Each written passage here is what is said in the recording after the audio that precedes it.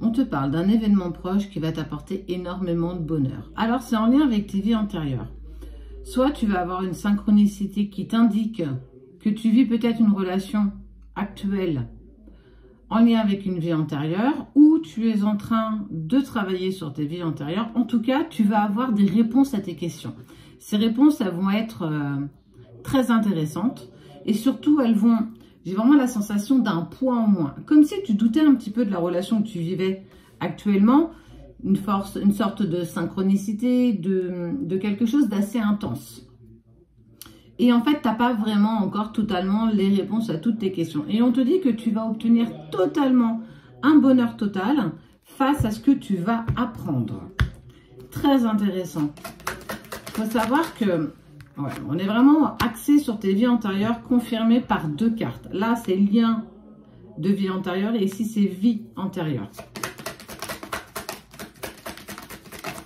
Alors.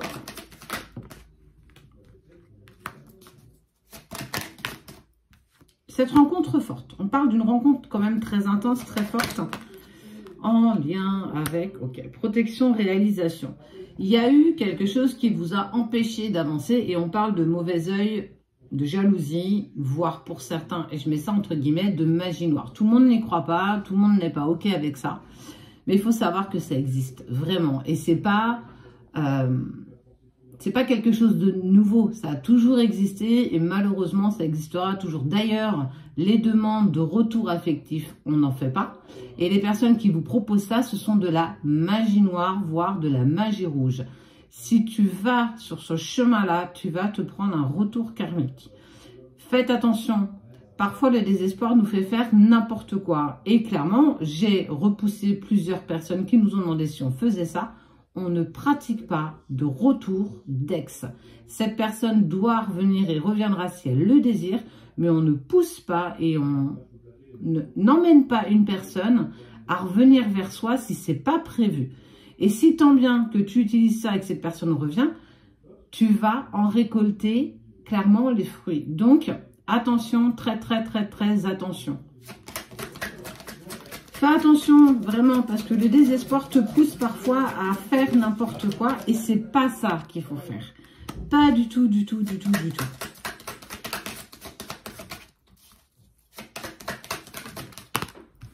Potentiel exacerbé, changement imminent. Ce que tu vas apprendre, il y a quelque chose que tu vas déceler, que tu vas découvrir.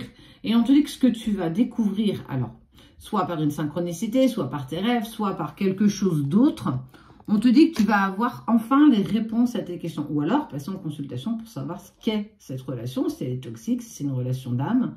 Si, voilà, en fait, c'est faire lumière sur quelque chose dont tu étais dans l'interrogation. On voit que cette rencontre a été forte, elle a été intense. Et tu vas, bout à bout, avoir toutes les réponses à toutes ces interrogations qui t'empêchent peut-être de voir clair dans ce que tu mets en place.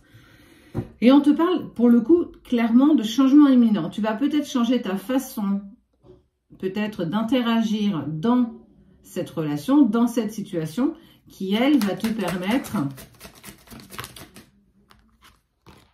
de faire l'évidence. Tu vas trouver l'évidence et surtout, ça va créer en toi un véritable changement et peut-être même en l'autre.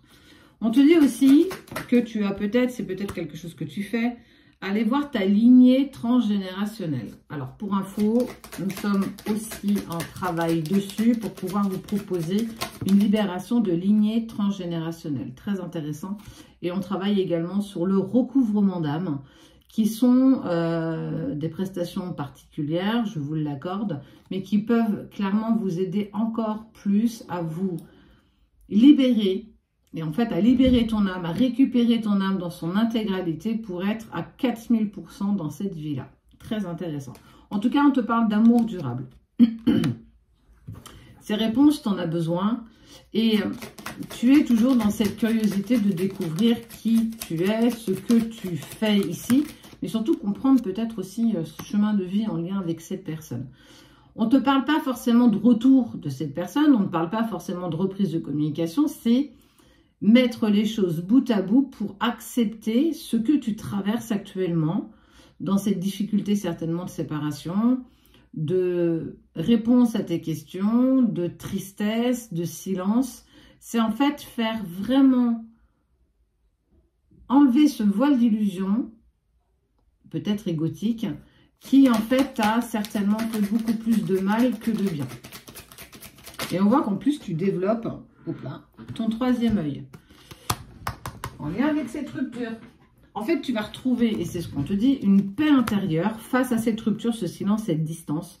Parce qu'il y a quelque chose de plus fort avec cette personne. Tu l'as toujours su, mais tu n'avais pas forcément tous les tenants et aboutissants de « je sens qu'il y a un truc particulier, mais j'arrive pas encore à savoir ce que c'est ».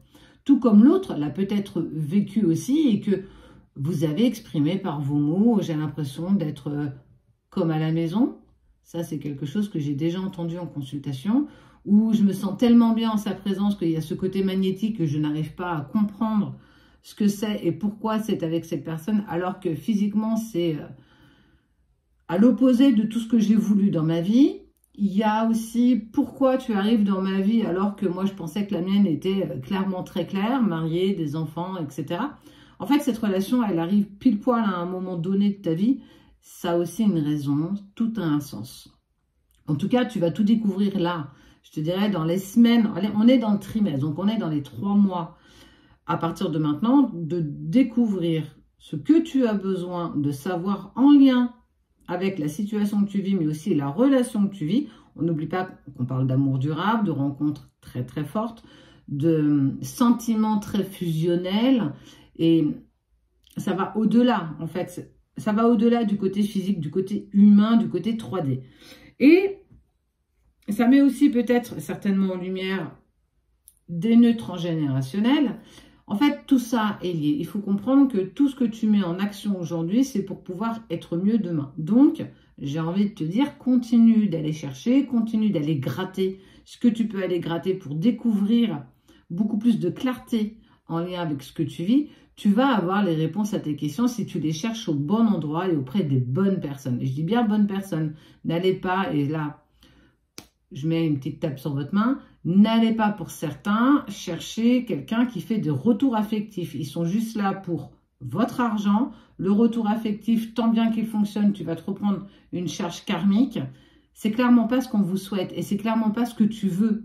Au fond de toi, c'est clairement pas ce que tu veux. Donc faites attention à vos demandes, faites attention à qui vous les demandez, et faites attention au fait qu'on ne vous contacte pas en privé et que tout ce qui est paiement se passe avec nos noms d'entreprise. C'est pas Sylvie, c'est pas Chantal, c'est pas Sébastien, c'est pas Christophe, c'est Sabrina pour moi et c'est Cédric pour Cédric.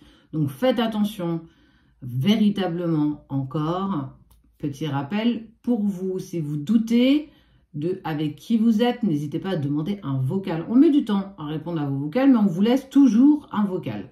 Donc voilà, ça, c'est ce qui se présente à toi très prochainement. Sois attentive ou attentif. Ça se met en place.